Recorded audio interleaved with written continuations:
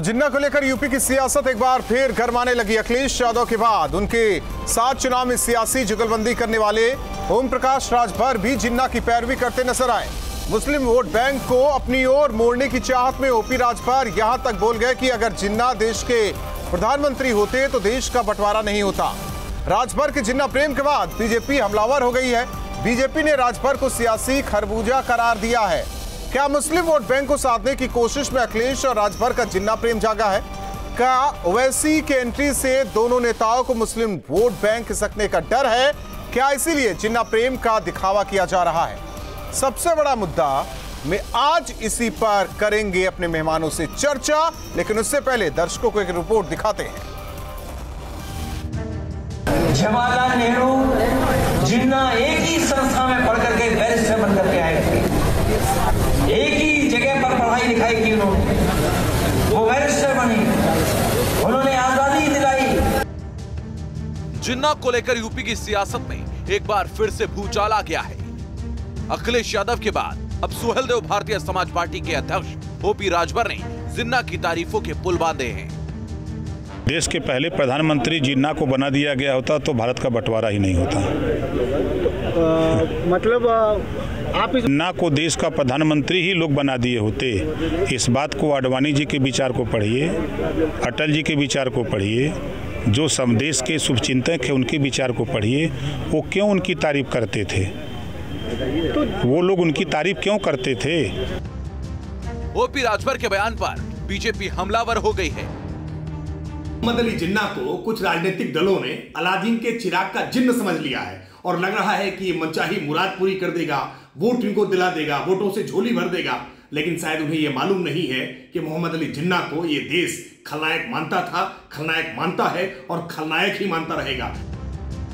Tweet के ज़रिए भी बीजेपी ने ओपी राजभर के साथ अखिलेश को भी आड़े हाथों लिया। यूपी बीजेपी ने लिखा है कि एक कहावत है खरबूजे को देखकर खरबूजा रंग बदलता है। जब से ओम प्रकाश राजभर सपा के शरणागत हुए हैं, उतना ही बोलते हैं, जितना अखिलेश सिखाते हैं। चुनाव आते आते ओम प्रकाश जी अपनी पार्टी का विलय सपा में कर दे, कोई आश्चर्य न होगा। इससे पहले अखिलेश यादव के जिन्ना वाले बयान पर भी जमकर बवाल हुआ था। राष्ट्रपिता महात्मा गांधी, जवाहरलाल नेहरू, जिन्ना एक ही संस्था में पढ़ करके बैरिस्टर बन करके आए थे एक ही पर पढ़ाई उन्होंने वो बैरिस्टर बनी। उन्होंने आज़ादी दिलाई। उन्हें किसी भी तरीके से किसी का भी संघर्ष करना पड़ा होगा तो वो पीछे नहीं हटे। जिन्ना पर अखिलेश के बाद ओपी राजभर के बयान ने बीजेपी को बैठे बिठाए बड़ा मुद्दा थमा दिया, जिससे पार्टी भुनाने की भरपूर कोशिशों में जुटी हुई है। टीम न्यूज़ स्टेट तो जिन्ना की बात जिस तरीके से सियासत में हो रही है, भूचाल आना तय है और ऐसे में लगातार सत्ता पक्ष, विपक्ष पर निशाना साध रहा है। सवाल मुस्लिम वोट बैंक को साधने की क्या ये कोशिश हो रही है? यूपी में वैसी की एंट्री से जिन्ना प्रेम जागा ताकि मुस्लिम वोट बैंक इन लोगों के साथ रहे। अखिलेश की राह पर चल रहे हैं ओम प्रकाश राजभर, क्योंकि अब सियासी जुगलबंदी कर रहे हैं। क्या जिन्ना प्रेम से गठबंधन का नुकसान होगा? मुस्लिम वोट बैंक को साधने की जो कोशिश की जा रही है और बार बार जिन्ना प्रेम जगाया जा रहा है।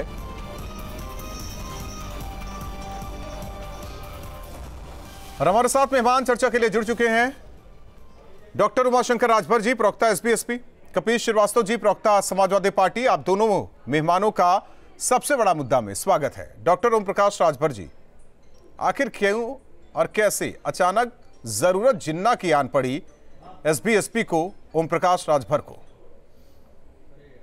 राहुल जी बात ज़िंदा की नहीं है। चाहे माननीय अखिलेश जी ने कहा है चाहे माननीय नेता ओम प्रकाश राजभर जी ने कहा है उन्नीस के पहले की व्यथा को उन्होंने बताया है। उन्नीस के पहले जो देश की स्थिति थी उसके बारे में उन्होंने चाहे अखिलेश जी ने बयान दिया है चाहे माननीय नेता ओम प्रकाश राज क्योंकि भाजपा के पास अली बजरंग बली शमशान कब्रिस्तान की बात कर रहे हैं।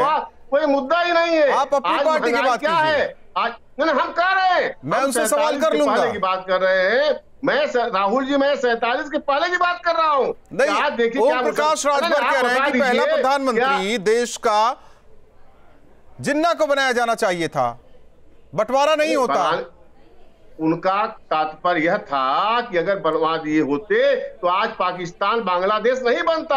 आज जो गांधी जी केवल नेहरू के प्रेम में आकर के वह जो है नेहरू जी को प्रधानमंत्री बनाए अगर वह जिन्ना जी को बना दिए होते उस समय तो आज जो है अपने देश का जो भाजपा अखंड भारत एक इंसान की जिद के आगे कि उसे प्रधानमंत्री का पद चाहिए और पद नहीं मिला तो देश का बंटवारा हो गया जिसका महिमा मंडन ओम प्रकाश राजभर कर रहे हैं। यह तो यह तो मैं बता दूँ कि यह केवल नेहरू प्रेम था लोगों का। अगर नेहरू अगर इस तरह नहीं आप, आप, होते आप वकालत कर रहे हैं कि आप वकालत कर रहे हैं कि जिन्ना को पहला प्रधानमंत्री देश का बना दिया जाता तो आज देश का बंटवारा नहीं होता। और आपकी पार्टी जिनके विचारों पर आधारित है महाराजा सुहेल देव वो तो गाजी से लड़े थे। गाजी को शिकस्त दी थी। तो कल को आके आप लोग ये भी बोल सकते हैं कि गाजी के साथ गलत हुआ। नहीं, नहीं, बेवजह नहीं, लड़ाई नहीं, लड़ ली नहीं राहुल जी गजब की बातें कर रहे हैं सर। रा, राहुल नहीं गजब की बात नहीं राहुल जी यही तो मैं कह रहा हूँ बात ही। भाजपा के मित्र के। मैं कह रहा हूँ, 2006 मैं कह रहा हूँ आपसे, मेरी बात सुनिए, हमारा नेता ओम प्रकाश राजभर जी आपके बड़े नेता कह रहे हैं। 2006 में- उमाशंकर सुनिए, राजभर 2006 में- उमाशंकर राजभर आप 2006 तात्पर्य समझा रहे हैं ना? जाकर के जिन्ना के मजार पे कविता कविता कविता तो ओम प्रकाश राजभर पढ़ रहे हैं और संदर्भ सहित व्याख्या आप सुना रहे हैं हमें। अटल जी अटल वो भी प्रसंग के साथ। और बात तो सुनिए। मैं कह रहा तो हूँ आप उसकी बात नहीं 1947 से पहले आपके लिए आप जो तात्पर्य समझा रहे एक बात सुन लीजिए पहले पहले बात सुनिए। अगर हाँ बोलिए। राजभर साहब पहले बात। 1947 से पहले आप कह रहे हैं कि जिन्ना बहुत अच्छे थे हम मान लेते हैं जिन्ना बहुत अच्छे थे। प्रधानमंत्री नेहरू जी बने वहाँ तक की बात मान लेते हैं कि जिन्ना बहुत बेहतर थे। लेकिन जिन्होंने देश का बंटवारा किया उनका नाम क्यों लिया जा रहा है? और सियासी दलों की तरफ़ से क्यों लिया जा रहा है? यह तो भाजपा यह तो भाजपा की मित्र से पूछिए जब आडवाणी जी 2006 में गए थे जिन्ना की मदार पे चादर चढ़ाए थे तब उस समय क्यों बात नहीं करते हुआ जो है? और दूसरी बात जब अटल जी उनकी प्रशंसा गुणगान करते तब बात क्यों नहीं करते? दूसरी बात जब मोदी जी माननीय मोदी प्रधानमंत्री जी जाकर के वो जो करेंगे वही आप भी करेंगे। वो जो करेंगे वो भी आप करेंगे। धर्मेंद्र राज जी जवाब दीजिए हमारे साथ भी चर्चा में जुड़े हैं। धर्मेंद्र राज जी। धर्मेंद्र राज जी बीजेपी के बड़े नेताओं ने 1947 के बाद कोई बात महिमा मंडन किया इसीलिए। अखिलेश यादव महिमा मंडन करते हैं तो क्या गलत है? ये एसपी एसपी महिमा मंडन कर रही है जिन्ना को लेकर तो क्या गलत है?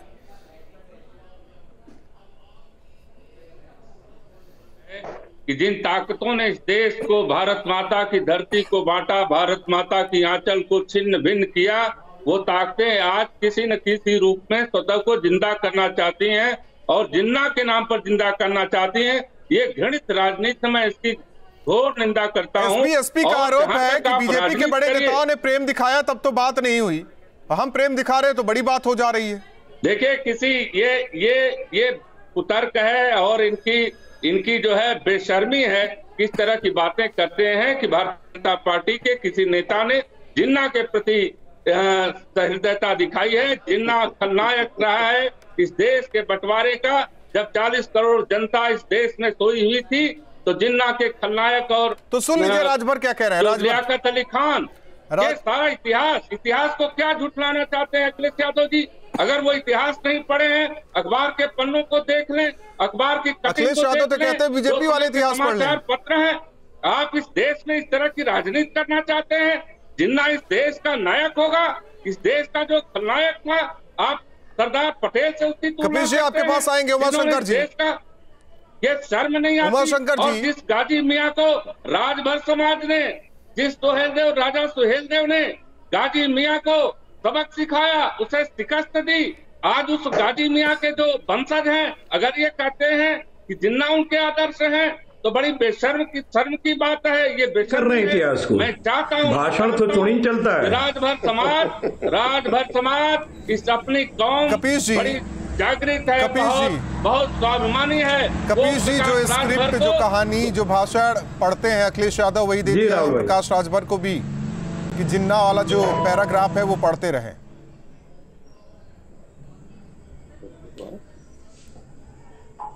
नहीं नहीं नहीं हमको तो ये लगता है कि लाल कृष्ण आडवाणी ने दे दिया। जी। और बड़ा अच्छा टॉपिक आपने रखा है कि जिन्ना की टोपी किसके सर? तो जिन्ना की टोपी आडवाणी के सर और सावरकर के सर। क्योंकि सावरकर और जिन्ना साहब एक ही सिक्के के दो पहलू थे और एक ही घोड़े पे सवार थे। उस घोड़े का नाम था बंटवारा और अंग्रेज़ों के हाथ में खेलना। दोनों ही आज़ाद भारत के लिए आवश्यक नहीं। लेकिन अगर इतिहास आप देखेंगे तो राय साहब तमाम इधर उधर दाएँ बाएँ क्या कर रहे हैं? इतिहास पढ़िए ना। भारत का इतिहास आधुनिक भारत का इतिहास और मध्यकालीन भारत का इतिहास। अगर आप स्वतंत्रता आंदोलन पढ़ेंगे तो आपको दो एपिसोड देखने को मिलेगा। एक स्वतंत्रता का जो हमारा आंदोलन रहा वहाँ से लेकर के और भारत के आज़ाद होने तक और एक वो जब हम आज़ादी ले रहे थे और आज़ाद भारत के तक। तो आप बताइए, टू नेशन थ्योरी पे सावरकर ने डिमांड की 22 मार्च सन 1942 को। और किसके कहने पे की? क्योंकि जिसकी साठ रुपए पेंशन उठाते थे, अंग्रेज़ों के कहने पे। और जिन्ना साहब कांग्रेस छूट के अलग हो गए, और उन्होंने पाकिस्तान की मांग की क्योंकि इन्होंने हिंदुस्तान की मांग की। और दोनों सदे बदे थे। अंतर यह है कि जिनको हम वीर करते हैं वो छह माफ़ी मांगा नामे है। तो ठीक है ना छह माफ़ी मांग तो नहीं पूरी अंग्रेज़ों की साठ तो रुपए की पेंशन उस समय उठाते थे साठ रुपए बहुत होता है। चार आने में तो दो किलो देसी घी मिलता था। सावरकर की मांग तो पूरी नहीं हुई अरे भाई तो सुनिए तो राहुल भाई। मैं- आलू भी सवाल आलू भा- अरे भाई अरे सुनिए तो मित्र आप एक मिनट सुन तो लें। अरे हम कहा कुछ कर... नहीं ना उनके प्रवक्ता से हमको जवाब दिलाइए हमें आपका जवाब नहीं चाहिए आप तो निष्पक्ष आदमी हैं। भाई राहुल सवाल का जवाब आप दे दीजिए बाकी मैं सवाल उनसे कर रहा जवाब। दिलाइए। कपिल जी कि सावरकर जवाब दे दीजिए के उस माफीनामे से लेकर के जवाब और दे जो इन्होंने अंग्रेज़ों। के साथ बंटवारा किया और जिन्ना का साथ दिया लेकिन मेरे उसमें ये क्या। और लाल कृष्ण आडवाणी जिन्होंने किताब लिखी। जवाब दे दीजिए कपिल जी। नहीं नहीं लाल कृष्ण आडवाणी ने क्यों जिन्ना को सेकुलर कहा? मैं वही बात कर रहा हूँ, क्या ये सवाल उनसे नहीं किया गया? ये सवाल किया गया, लेकिन कपिल जी, आप मेरे सवाल का जवाब देंगे कि उनके किताब में क्यों कहा गया कि जिन्ना भारत के सेनानी थे आप चर्चा करने मेरे साथ आए। भाई आप पूछिए अटल बिहारी वाजपेयी से साथ महिमा मंडित क्यों करते थे? आप जसवंत सिंह से बताइए। पूछिए महिमा मंडित क्यों करते थे? आप यशवंत सिन्हा से का पूछिए महिमा मंडित क्यों करते थे? आप का- कपिल सिन्हा का से पूछिए कि महिमा महिमा कर रहे हैं, मंडित आप क्यों करते भी कर रहे हैं। थे ये सभी भारतीय जनता पार्टी के थे। आप लोगों को सभी भारतीय जनता पार्टी नाम के लेकर वोट बैंक हासिल महत्वपूर्ण करना पदों पर रहे। हैं। एक तो राष्ट्रीय अध्यक्ष रहे आप कन्नी नहीं कर सकते। आप मेरे सवाल का जवाब नहीं दे पा रहे हैं। भाई आप कन्नी जवाब नहीं देना कर नहीं सकते। चाहते हैं तो मना कर दीजिए महिमा मंडित करने का काम भारतीय जनता पार्टी ने किया है नहीं पूछूँगा सवाल आपसे अगर आप जवाब नहीं देना भारतीय चाहते। जनता पार्टी ने किया है आप जवाब भाजपा के प्रवक्ता में दम नहीं है आप- कि वो इतिहास को बदल दे। आपकी मेरे सवाल का जवाब देंगे। बदलने का काम गैर भारतीय इतिहास तो समाजवादी पार्टी लिख रही है ना। इतिहास तो समाजवादी पार्टी भी लिख रही है। इतिहास को जानता है। वो अपने नहीं नहीं राहुल भाई लिख रहे हैं इतिहास और उनका चेहरा आप लिख रहे हैं। ना। क्योंकि आप सवाल का जवाब तो दे नहीं पा रहे हैं। क्यों मतलब पुरानी देना चाहते हैं। की गई इससे मतलब नहीं है। वेतन आयोग मोदी ने क्यों समाप्त किया गया इससे मतलब नहीं है। क्यों जावेद साढ़े अहमद जी बारह प्रवक्ता करोड़ कांग्रेस भी चर्चा में हमारे साथ जुड़े मतलब हैं। जावेद अहमद जी एसपी का साफ़ कहना है कि पहला प्रधानमंत्री देश का जिन्ना को बनाया गया होता नहीं है। अरे जिन्ना का तो बंटवारा नहीं होता। और ऊपर से अटल महिमा मंडन ये भी किया जा रहा है कि गांधी के प्रेम में जवाहरलाल नेहरू को अपने- देश के पहले प्रधानमंत्री बने। ये एसपी का कहना चर्चा में। उनको महिमा मंडित करने का काम भारतीय जनता पार्टी ने प्रधानमंत्री बना के किया। जावेद साहब। देखिए राहुल जी जी। अगरचे मगरचे देखिए हाँ हाँ मैं मैं आपके सवाल का जवाब दे रहा हूँ। अगरचे मगरचे चुनाचे जनाब इन्हीं चंद बातों में दुनिया खराब। इतिहास बहुत क्रूर होता है और इतिहास को, जब पलटा जाता है तो उसके जो अतीत के जख्म भरे का जो समय होता है वह बड़ा दुखद होता है। मोहम्मद अली जिन्ना इस देश के बंटवारे का दोषी है वो इस भारत की आत्मा को उसने छिन्न भिन्न किया, उसने भारत के साथ दुश्मनी की, उसको जो भी अच्छा कहेगा, महिमा मंडित करेगा, उस उस पर राजनीति करेगा, उसको कोई भी सच्चा भारतीय कभी भी स्वीकार नहीं करेगा, पहली बात। दूसरी बात सावरकर की टू नेशन थ्योरी का समर्थन तो मोहम्मद अली जिन्ना ने किया। जो लोग आज बड़ा बवाल कर रहे हैं मेरा उनसे एक सवाल है कि इनके जो पुरोधा थे अहमद जी श्यामा प्रसाद मुखर्जी वो तो चर्चा मुस्लिम में। लीग की बंगाल की सरकार में इसी चर्चा में कपिल जी से मेरा सवाल था। टू नेशन थ्योरी की बात हो रही है। सावरकर का नाम जिन्ना का नाम लिया जा रहा है। मैं सावरकर की सावरकर की तो बात नहीं मानी गई। लेकिन जिन्ना की तो बात मान ली गई ना फिर भी ये महिमा मंडन क्यों आज भी जिन्ना हैं। प्रासंगिक क्यों है तो चुनाव को लेकर सियासी पार्टियों को लेकर तो वही वो व्यक्ति थे जिन्होंने कराया। हाँ, तो आप- को प्रधानमंत्री बना दिया जाता। तो शायद ये किसने बात कही? जिन लोगों ने बात की है वो राजनीति में जब सत्ता में रहे अपनी विफलता को छिपाने के लिए आज समाज में जो विभाजनकारी शक्तियाँ रही हैं उनके नाम पर मतदाताओं का ध्रुवीकरण करना चाहते हैं। श्यामा प्रसाद मुखर्जी की मुस्लिम लीग की सरकार में मौजूदगी और भारत के आंदोलनकारियों पर उनके उनके आदेश पे चली लाठी और गोली पर कोई चर्चा नहीं करता। जिन्ना का इस देश से क्या रिश्ता है? जिन्ना का इस देश की मानसिकता से क्या रिश्ता है? जिन्ना का भारत की सभ्यता और संस्कृति से क्या रिश्ता नाता नहीं है। इसको चुनाव के समय क्यों लाया जाता है? ये मेरा सवाल है। महँगाई पर चर्चा नहीं बेरोजगारी आज महिमा मंडन कर रहे हैं समाजवादी पार्टी के साथ मिलकर। पटेल की आत्मा को मुस्लिम ये रिश्ता तो वो जिन्ना देखिए राहुल जी जिन्ना। क्या रिश्ता किस राजनीतिक दल का है। इसको तो लेकिन जिन्ना का महिमा मंडन क्यों? नहीं मैं खुला बोल रहा हूँ। जिन्ना का महिमा मंडन जाते हैं? अरे आज मैं आपसे पूछ रहा हूँ मेरा मैं उसका जवाब दे रहा हूँ कि इस आज़ाद भारत के अंदर एक जावेद जावेद अहमद जी। बताइए जावेद अहमद जी एसपी एसपी से ये सवाल है। जिसने जिन्ना की कबर पर जाकर नेहरू या नत जिन्ना एक मस्तक साथ होकर फूल चढ़ाए आपको फूल झूठ चढ़ाने वाले लाल आईएसआई के दुर्दांत है, आतंकियों को अफ़गानिस्तान के मार्फत पाकिस्तान नहीं भेजने वाले भारतीय जनता पार्टी बात जिन्ना की हो रही है। के- जिन्ना को लेकर के- सियासत को हो रही है। आपको जिन्ना की प्रशंसा तो जावेद अहमद जी। सरदार पटेल कि- चलिए आप चारों मेहमानों का बहुत बहुत धन्यवाद। हमारे साथ सबसे बड़ा मुद्दा में जुड़ने के लिए हालाँकि चुनाव नज़दीक आते ही जिन्ना वाला प्रेम जाग रहा है। पहले समाजवादी पार्टी के सुप्रीमो अखिलेश यादव तुलना करते हैं महात्मा गांधी से जवाहरलाल नेहरू से सरदार पटेल से। फिर एसबीएसपी जो कि जुगलबंदी कर रही है इस बार चुनाव में समाजवादी पार्टी के साथ जिन्ना प्रेम ओम प्रकाश राजभर भी दिखाते हैं और कहते हैं कि पहले प्रधानमंत्री जवाहरलाल नेहरू नहीं होने चाहिए थे। जिन्ना को बना देते तो आज देश में बंटवारा ना होता, देश की ये स्थिति नहीं होती। सवाल इस बात को लेकर है कि अगर आपको मुस्लिम वोट बैंक चाहिए तो महिमा मंडन इस तरीके से कहाँ तक जायज़ है? यह आकलन खुद वो मतदाता भी करे जिनके लिए ये सियासत हो रही है। क्या ये सियासत देश और प्रदेश के हित में है? यूपी के वासी इसका आकलन ज़रूर करें। इसी के साथ सबसे बड़ा मुद्दा मैं आज के लिए बस इतना ही।